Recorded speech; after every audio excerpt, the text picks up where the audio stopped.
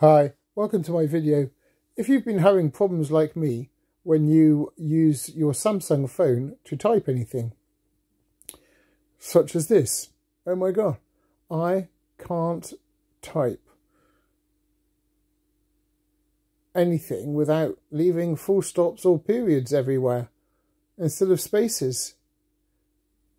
The problem is, is the space bar is in the wrong place now, Samsung have said they're going to um, possibly look at upgrading this on a new Android update. I just not going to hold my breath for that. It's going to take too long, and I'm fed up with it now. So every time you write anything, it's putting space um, periods or full stops in, and add sometimes even adding dot coms. So it's just so annoying when you're trying to write anything. So what I've done is um, well, I had a quick Google and uh, there wasn't much about, there was people suggesting using um, different keyboards and things, uh, cafe keys, stuff like that. So I had a look around and um, then I remembered I w- quite, quite a while ago I was using um, Microsoft um, SwiftKey. So um, I had a look on the, um, this is where I found out about the, the cafe keys on the on the forum. There you go, Key Cafe. It's just no good really. So um, off to Play Store, Microsoft SwiftKey. Download that keyboard, opened it, and then enable SwiftKey. So uh, choose that as a keyboard. There we go. Press attention. Okay, select SwiftKey.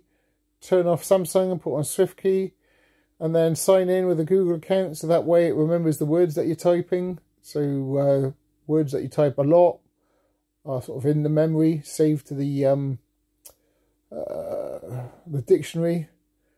Sort of allow access to your Gmail account so it can save all this memories of different letters and words you type, and then activate. And there we go. So we got um, SwiftKey go up and running.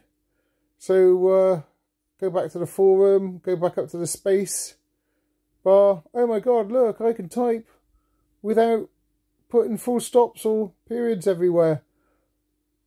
You can actually use the space bar. It's like a miracle. I didn't even have to wait for the Android update. Amazing. Saves me having to go around and deleting all these periods and full stops that I keep leaving everywhere.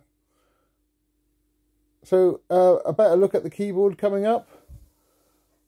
Don't forget to hit the like button and the subscribe if I've helped you um, improve your texting and writing email addresses or even um, uh, searching websites up because quite often I was hitting the, the space bar and getting a, a .com come up and I wasn't looking for the .com. It's really annoying. So just by having that spacebar just a bit too small, it's really made it a lot harder to use the, the Samsung phones. So this is the keyboard, nice and close. Look at that keyboard, the spacebar is in the middle.